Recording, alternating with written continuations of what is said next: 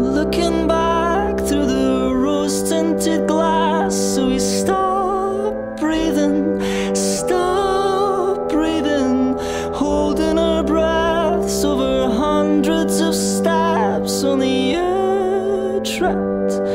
Then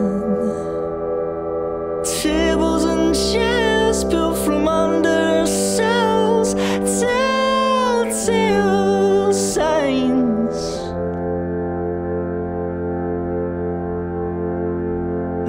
Just can't